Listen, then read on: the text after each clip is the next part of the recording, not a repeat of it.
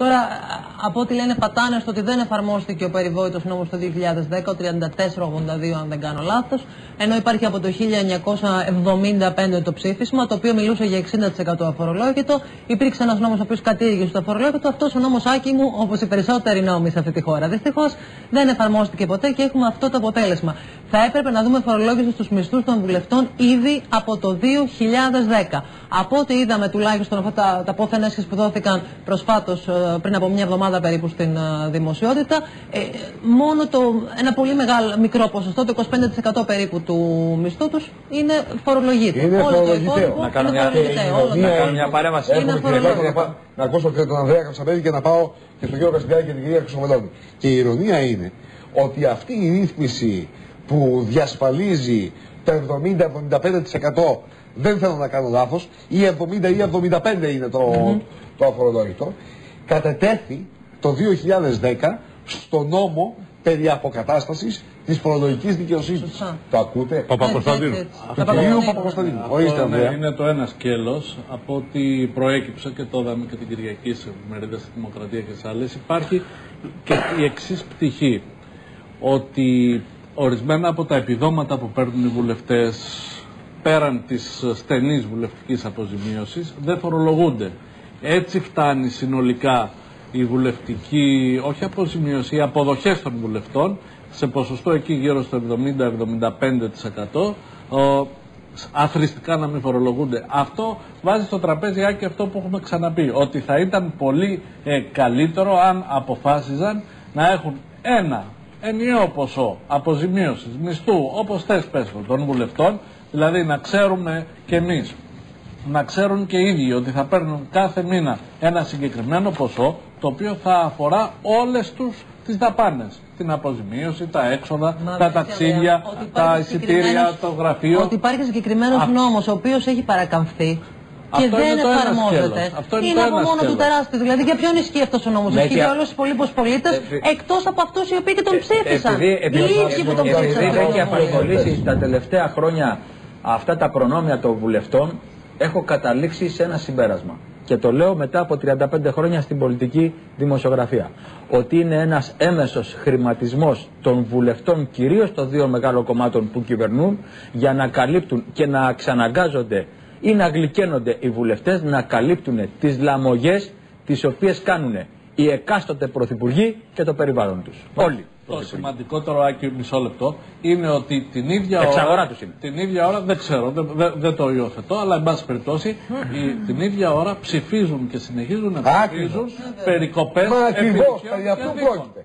Δηλαδή και για τους υπαλλήλους της Βουλής και για τις άλλες κοινωνικές ομάδες. Όχι, κάνουμε κάποια διάρκεια. Ένα λεπτό, κυρία Χρυσοδελόπη. Προφανώς όχι. Μιλάμε συνολικά για τα μεγάλα κόμματα. Για τα μεγάλα κόμματα.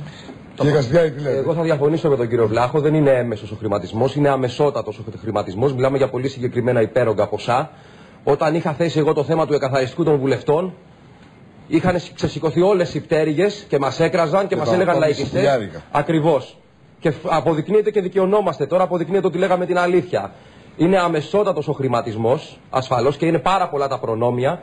Και επειδή εμείς έχουμε θεσμικό ρόλο, δεν είμαστε οι χούλιγκαν που μας παρουσιάζουν, έχουμε φέρει και συγκεκριμένες προτάσεις και προτάσεις νόμου για τις μειώσεις στις κρατικές επιχορηγήσεις προς τα κόμματα, να μειωθούν 80%, να μειωθούν οι βουλευτικές αποζημιώσεις επιτέλους, να εξομοιωθούν με τους μισθούς των δημοσίων υπαλλήλων μεσαίας βαθμίδος. Αυτό είναι το κοινοβουλευτικό μας έργο, αυτή είναι η πρότασή μας. Χθες ήμουν στην Νίκαια σε μια πολύ μεγάλη συγκέντρωση Χρυσής Αυγής. Έβλεπα πολύ κόσμο αγανακτισμένο, πολλούς Έλληνες οι οποίοι αντιμετωπίζουν πραγματικά πρόβλημα επιβίωσης και σας ενημερώνω ότι μου έλεγαν όλοι το ίδιο πράγμα. Θα το πω ευσχήμως. Αντιμετωπίστε τους μέσα στη Βουλή πιο επιθετικά. Αυτό μου έλεγε όλος ο κόσμος. Θα καταθέσετε πρόταση όμως να αλλάξει το καθεστώς φορολογίας, να σπάσει. Θα καταθέσουμε βεβαίω βεβαίως και θα καταθέσουμε.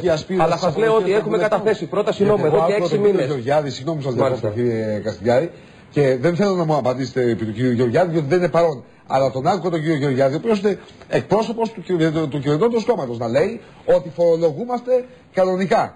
Δεν είναι έτσι. Ω αποδεικνύεται. το είπε αυτό. Θα καταθέσετε τέτοια απόφαση. Θα καταθέσουμε, αλλά τι συμβαίνει με τις προτάσεις νόμου. Να σας πω τι έγινε με αυτή περί των κρατικών χρηματοδοτήσεων προς τα κόμματα, οι οποίοι ήταν πολύ δίκαιοι θεωρούμε.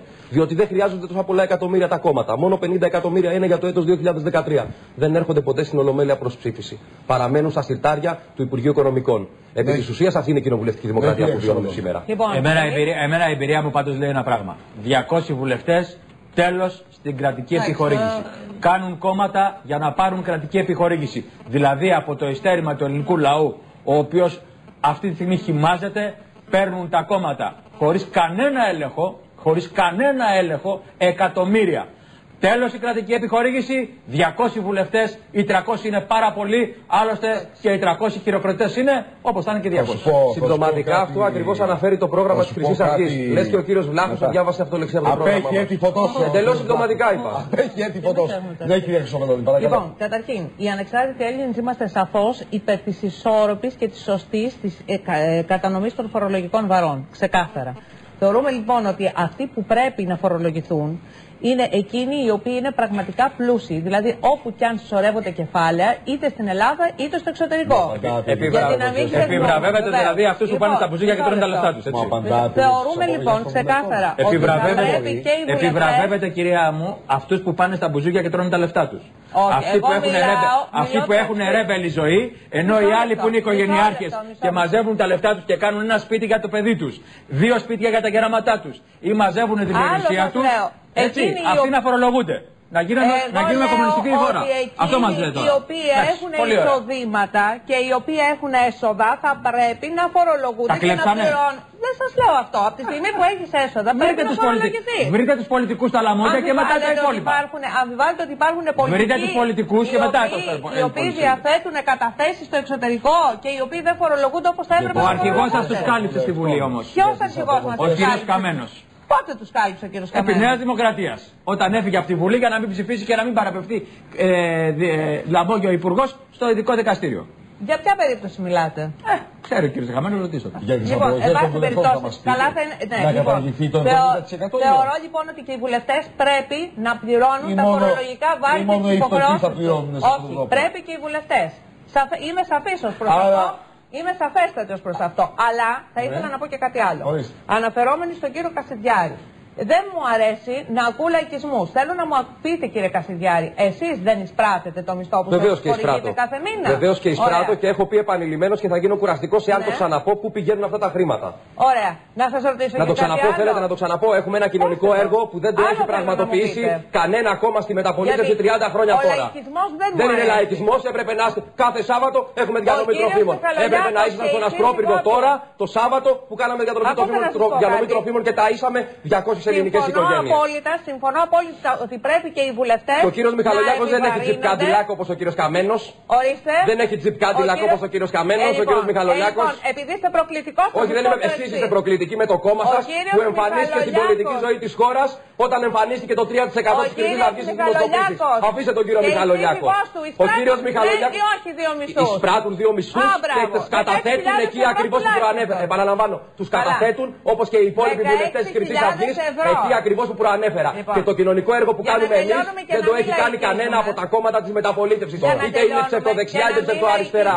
Εκεί πηγαίνουν τα χρήματα της Και όποιος το αμφισβητεί να έρθει να πάρει τρόφιμα από τις εκδηλώσεις μας, να έρθει να δει το κοινωνικό μας έργο. Είναι σημαντικό το Συμφωνώ. Απόλυτα ότι πρέπει Γιατί όταν εγώ μίλησα για τα 8.000 των βουλευτών, η κυρία Κόλια ήταν αυτή που αντέδρασε από το Προεδρείο της Βουλή. Η κυρία Κόλια από το κόμμα σα, όχι δεν είναι έτσι. Όπως αντιδρούσε ο Γεωργιάδης, αντιδρούσαν και Θέλω μια κουβέντα από όταν βγάλαμε στη φόρα τα χιλιάρια των βουλευτών. Γιατί κύριε. Γιατί εσεί αντιδράσατε. Δεν είναι μίσο. Κύριε Εξοβεδόνη. Παρακαλώ να προχωρήσουμε. Θέλω μια κουβέντα από τον κύριο Παντελή, παρακαλώ. Το θέμα. Πρέπει ή όχι, κύριε Παντελή; Ή θα κάθεται δηλαδή. Θα κάθεται δηλαδή ο φτωχός Ασφαλώς και πρέπει. Να βάζει πλάτη για να σωθεί η χώρα, να γεμίσει τα ταμεία και οι βουλευτές, τους οποίους εκλέγει ο λαός, να απολαμβάνουν μιας μιας φορολογικής ασυλία της τάξης των 70-75%. 75% πρέπει και παραπρέπει. Σε 100.000 περίπου 17.000 είναι αυτά τα οποία πάνε να φορολογηθούν σε ένα ε, εισόδημα ενός βουλευτή. Το θέμα όμως αυτή τη στιγμή. Τα 100 φορολογούνται τα 17. Περίπου εκεί είμαστε με αυτά ναι. τα οποία δίνουν στο κόμμα κτλ. Ναι, ναι. Το θέμα λοιπόν αυτή τη στιγμή. Προκύπτει από το πόθεν έσχες το οποίο έδωσε και προκύπτει. Ασφαλώς και προκύπτει από το πόθεν έσχες. Από το έσχες. Γιατί από το πόθεν δεν προκύπτει. Για να ξεκαθαρίζουμε. Το θέμα είναι ένα άλλο αυτή τη στιγμή. Το θέμα είναι ότι υπάρχει ένα φορολογικό νομοσχέδιο το οποίο στραγγαλίζει όσους έχουν παιδιά. Υπάρχει ένα φορολογικό νομοσχέδιο το οποίο θα κλείσει όλες τις μικρομεσαίες επιχειρήσεις. Και εδώ θα μου επιτρέψετε, γιατί πρέπει να το πω, δεν πρόκειται να μας φέρει ανάπτυξη αυτή την κόρα οι 16 πολυεθνικές εταιρείες. Αυτό